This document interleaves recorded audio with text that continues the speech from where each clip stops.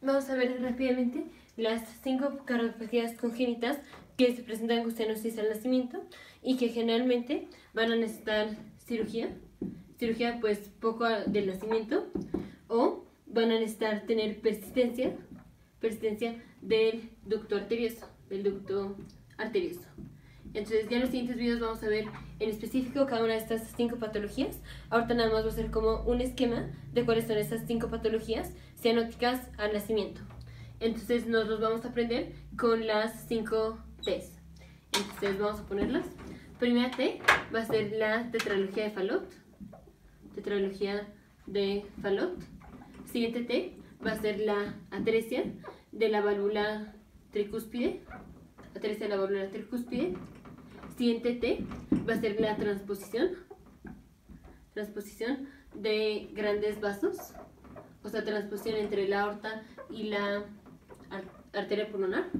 Siguiente va a ser troncus arteriosus. Troncus arteriosus. Siguiente va a ser retorno.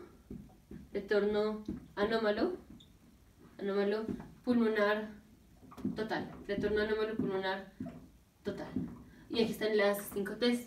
Tetralogía, tetralogía de Fallot, atresia de la válvula tricuspide, transposición de grandes vasos, troncos arteriosos, retorno anómalo pulmonar total. Estas patologías se van a presentar con cianosis recién, recién nacidos, porque vamos a tener una derivación. La derivación va a ser derivación de derecha a izquierda. O sea, vamos a estar pasando sangre del corazón derecho, que contiene sangre no oxigenada, no oxigenada, al corazón izquierdo, que contiene sangre oxigenada. Y si pasamos sangre no oxigenada al corazón izquierdo, la sangre se va a pasar, sangre no oxigenada, va a pasar a la aorta y va a ser sangre no oxigenada. O sea, el paciente se va a presentar con cianosis. Cianosis, desde que nace va a tener cianosis.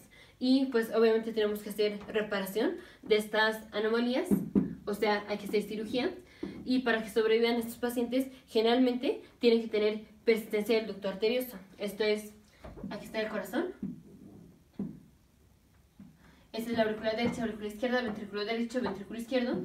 Aquí está la arteria pulmonar, está la arteria pulmonar. Y aquí viene la aorta. La aorta. Los recién nacidos tienen una comunicación entre la aorta, ay, le voy a marcar más, entre la aorta y la arteria pulmonar esta comunicación. Esta comunicación es normal en el feto, se cierra más o menos como 2-3 días después del nacimiento. Pero para que estos pacientes sobrevivan, o tenemos que hacer cirugía pues desde que nacen, o mientras hacemos la cirugía, tienen que tener persistencia del ducto arterioso, para que tengamos sangre, sangre que pueda pasar, digamos, de aquí, de la aorta, la aorta, la arteria pulmonar y no estamos pasando toda la sangre del corazón derecho al corazón izquierdo y pasemos sangre no oxigenada a la circulación periférica. Ya en los siguientes videos vamos a ver cada una de estas en específico.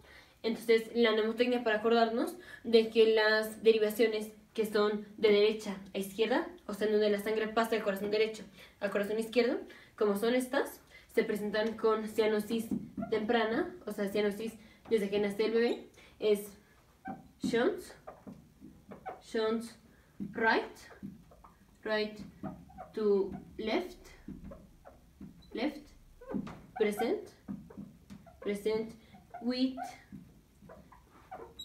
early cyanosis. Eso quiere decir que las derivaciones, shunts son derivaciones, las derivaciones de derecha a izquierda se presentan con cianosis temprana. Entonces, R R de right, left, R, L con early. Aquí está primero la R y luego la L. Entonces, cardiopatías congénitas con cianosis al nacimiento van a ser las 5 T, que es tetralogía de Fallot, A13 la válvula tricúspide, transfusión de grandes vasos, troncos arteriosos, retorno anómalo pulmonar total. Y estas van a ser derivaciones de derecha a izquierda que se presentan con cianosis al nacimiento. La mnemotecnia es shunts right to left, present with early cyanosis, RL RL. Y para que estos pacientes sobrevivan, o tenemos que hacer cirugía pues desde que nacen, o cuando menos tienen que tener persistencia del ducto arterioso, este de aquí, en lo que hacemos la cirugía. Nos vemos en el siguiente video, futuros médicos, científicos, ingenieros.